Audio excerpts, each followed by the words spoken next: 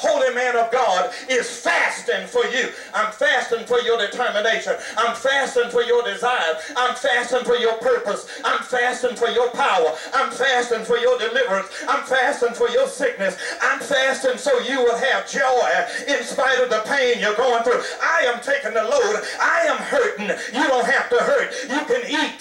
You can drink. You can have a good time. But I am fasting for you. Do you get up when God wake you up and there's no more sleep for you? Do you get up, get on the side of your bed and say, Lord, I feel you, Lord, I feel you. Do you pray to him? Have you ceased to pray? You need to pray unceasingly. You need to pray in the morning, pray at noonday. You need to pray at night. You need to pray at midnight. You need to get before the Lord for all that you need because the shepherd is praying, is fasting for me. Fasting for you. When I look out and I hear some of y'all around this church, you ain't praying.